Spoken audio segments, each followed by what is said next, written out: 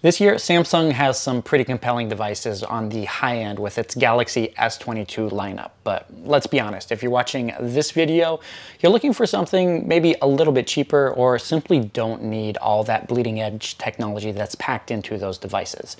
This year is the Galaxy A53 from Samsung, a mid-range smartphone with some decent cameras, good performance, and most importantly, a sticker price that's not gonna break the bank. So with that, let's jump into our review of the Galaxy A53 and see what it has to offer. Let's address the price right off the bat because I think that's one of the most compelling features of this phone. Samsung is selling the Galaxy A53 5G for just $450, making it one of the most compelling mid-range smartphones right now on the market, especially here in the US. Last year's Galaxy A53 was an okay device, but this time around Samsung's improved quite a bit on this smartphone while also cutting the price by $50 versus the $500 that they charged last time around. Out of the box, the Galaxy A53 is running on Android 12 with Samsung's One UI 4.1. If you've used any of Samsung's other smartphones that are running Android 12, you should be pretty familiar with the overall software feature set here. The new customization options from Android 12 are fun to play with, but you'll have to do a little bit of digging into the phone settings to really tell if this phone is actually running on Android 12, because it honestly doesn't look that much different than previous iterations of One UI. Overall, the software is good and pretty well rounded, but I have to say that for me, One UI feels a little bit dated at this point. It did feel really refreshed in 2019 when they overhauled the entire platform, but compared to Google's new Material You design that they rolled out with Android 12, Samsung's latest software just feels a little outdated at this point. But there is some good news when it comes to the software on this device, and that's because the Galaxy A53 is actually gonna be getting four years of Android updates and five full years of security patches as well, matching Samsung's same commitment that it made to its flagship tier devices as far as updates go. And even though I'm not a huge fan of the user interface, Samsung deserves a whole lot of credit for all the extra work that it's putting in to ensure that even its mid-range phones are gonna be running the latest version of Android in a full four years, even beating out what Google has committed for its Pixel tier devices. So if software updates are important to you and you're looking for a budget-friendly or mid-range device, this phone is definitely one to look at. Now, before we move on, let's take a quick break to highlight Casetify, the sponsor for today's video. The only real solution to ensure that your device stays looking like new for months or even years on end is a case. Sure, you could walk into any store and buy a generic smartphone case that looks just as boring as it feels, or you can pick one up from Casetify that offers 6.6 feet of drop protection and designs that'll perfectly match your style and your mood. And if you need even more protection than that, the Ultra Impact or their Ultra Impact Crush cases have beefed up corners that deliver drop protection up to 9.8 feet. And if you don't believe me, let's just give it a try. The case, I'll admit, is a little bit scuffed up, but the phone is scratch-free and working perfectly. And not only will Casetify protect your phone from physical damage like a drop, but the case also features antimicrobial protection that'll eliminate 99% of bacteria because in this day and age, you can't be too careful. With all of these designs, you honestly can't go wrong with Casetify. There are hundreds of design options to choose from, or you can even go the custom route and have them print your name or a custom message on the back of the case and truly give it your own personal touch. Be sure to check out the link in the video description to get a 15% discount on your new Casetify smartphone case. Thanks to Casetify for sponsoring this video, and now let's get back to the Galaxy A53.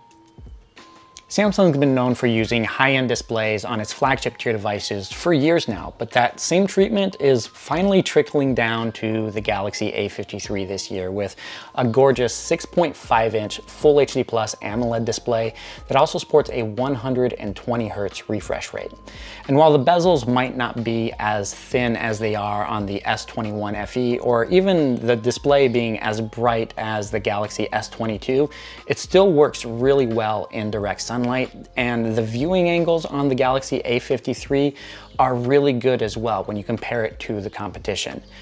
You'll definitely have a much better visual experience if you upgrade to one of Samsung's more expensive devices. There's no denying that. But honestly, this is one of the best smartphone displays that I've ever used on a $450 smartphone. It's just that good. If you're a Samsung fan, you're probably well versed in the continued debate about Exynos versus Qualcomm, which devices will be getting which chipset and which markets those devices are gonna be heading to. And typically in the US, we go with Qualcomm chipsets, but with the Galaxy A53, Samsung is changing things up a little bit by using the same Exynos 1280 SoC in all global variants of this smartphone. So regardless of whether or not you're a fan of the Exynos chipset, this phone actually has really good 5G connectivity and also doubles the performance of what we saw on last year's Galaxy A52. Only having six gigabytes of RAM doesn't seem to cause any issues with this device, but I know a lot of people would really love to see eight gigabytes of RAM in an ideal situation. But honestly, meeting that $450 price point is probably impossible if you go that route.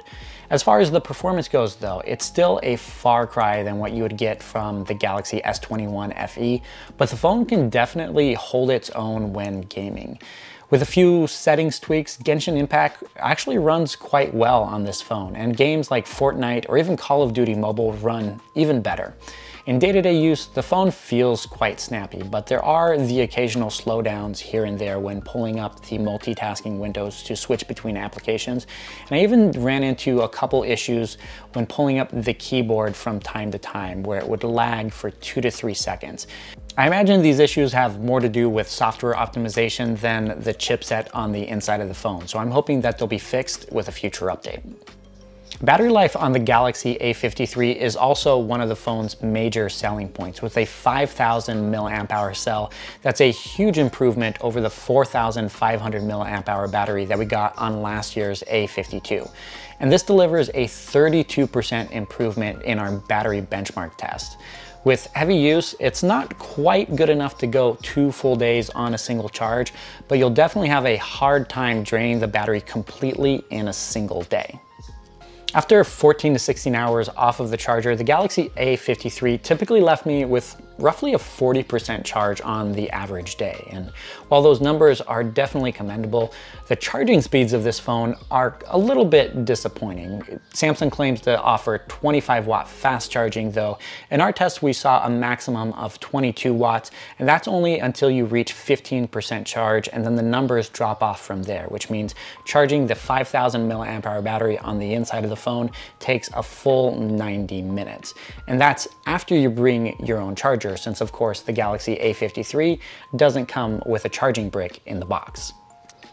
And to wrap things up, let's talk about the cameras. The main camera on the back of this phone is a 64 megapixel sensor that also features optical image stabilization, a feature that you really don't see at this price point that often. The other cameras though are pretty basic with a 12 megapixel ultra wide and then two 5 megapixel sensors for the macro and the depth camera.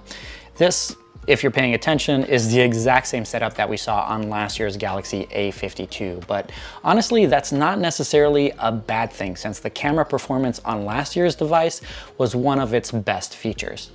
Images from the main camera are sharp and colorful, delivering a lot of detail and great dynamic range, though there is that typical Samsung oversaturation that you typically see on these devices. The results are honestly pretty close to what you might be able to get out of the Galaxy S21 FE, but you'll definitely be able to tell the difference when you're matching up photos and videos side by side against Samsung's flagship tier devices from this year or even last year. The optical image stabilization does help out quite a bit in low light conditions, allowing the camera to pull in a lot more light than it typically would and deliver great colors as well. The ultra-wide camera isn't quite as sharp due to its fixed focus lens, but it still manages to deliver some nice shots when you need a wider field of view than what's offered by that main camera. As for the 32 megapixel selfie camera, I have to say it performs incredibly well when you consider the price. Just make sure you turn down Samsung's smoothness filter in order to ensure that you're getting the sharpest images possible. But overall, the shots really turn out really great with incredible dynamic range, which means the sky or pretty much anything else that you have in the background isn't gonna be blown out when you're capturing your selfies. But what makes this even better is that Samsung delivered 4K video capture from the selfie camera as well, matching the same 4K video resolution at 30 FPS that they delivered for the main camera and the ultra wide camera on the back of this phone. Now, I know that for a lot of you, 4K video capture from the selfie camera may not sound like a big deal, but when you still have $1,000 smartphones that are being sold today that only have 1080p video, the fact that Samsung was able to enable the feature on a $450 device is definitely commendable. As I mentioned before, Samsung really has some incredible devices this year, but if you are on a tight budget, the Galaxy A53 is an incredible option. For $450, there's really nothing else on the market right now that can compete with this, especially here in the US market. But if you are willing to wait things out just a little bit, Google has its $450 Pixel 6a coming out in July, right around the corner. And I honestly think it'll give the Galaxy A53 a run for its money. And that's gonna do it. Let me know what you think of Samsung's Galaxy A53 down in the comments and whether or not you're gonna be buying one for yourself or maybe if you're gonna be waiting just a little bit longer for Google's Pixel 6a. Thank you guys so much for watching and I'll catch you in the next one.